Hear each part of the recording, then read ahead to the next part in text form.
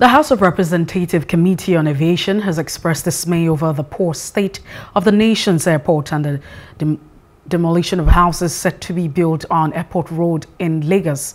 The chairman of the committee made this known to the managing director of the Federal Airport Authority of Nigeria at an event in Abuja a public hearing while responding to a query from the committee.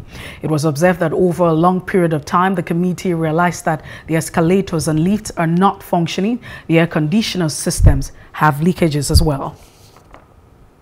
Seeing that the escalators, the lifts are not functioning.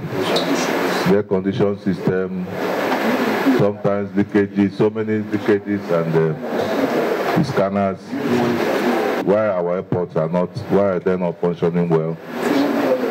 And um, so many things here.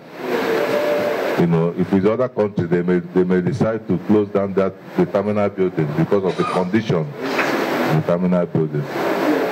The people with uh, disabilities are also complaining because they don't have, they can't even use the lift, they can't use the escalators, they can't use it. So there is a, is a total, uh, is a, is a problem. So we want to hear from the MD and his team why these two things, but to start with the first one with regards to the demolition.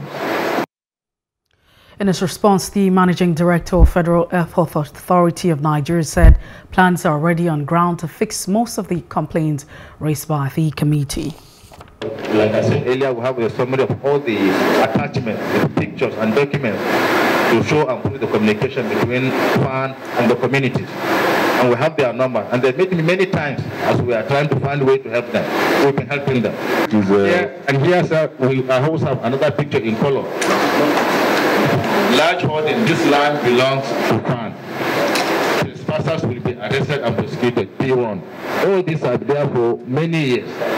Even, and this is the pipeline for anyone to go and buy land there, despite all the signages from the 1970s and the recent ones five years ago, seven years ago, and these ones, I think that's only for anyone to investigate.